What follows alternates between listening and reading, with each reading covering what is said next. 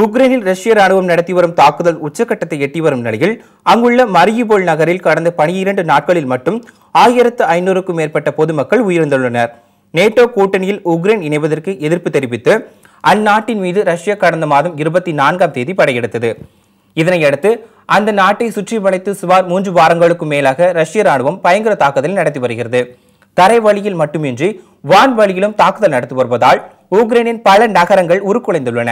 ஆயிரக்கணக்கான பொதுமக்கள் உயிரிழந்துள்ளனர். உயிருக்கு பயந்து இதுவரை இருபத்தி நான்கு லட்சத்திற்கும் மேற்பட்டோர் அகதிகளாக உக்ரைனின் அண்டை நாடுகளில் தஞ்சமடைந்துள்ளனர்.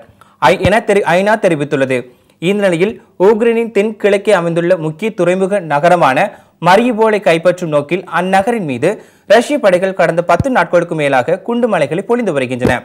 ராணுவ முகாம்கள் மட்டுமல்லாமல் பொதுமக்கள் வசிக்கும் குடியிருப்புகள் மருத்துவமனைகள் மீது ரஷ்ய ராணுவம் ஏவுகணை தாக்குதலை நடத்தி வருகின்றன.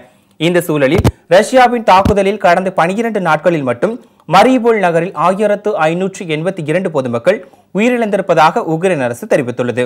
மேலும் அங்கு சடலங்கள் குவிந்து வருவதால் அங்குள்ள கல்லறைகளில் பெரிய அளவிலான குழிகளை வெட்டி பிணங்களை புதைத்து வருவதாக மரியுபோல் நகர நிர்வாகம் கூறியுள்ளது.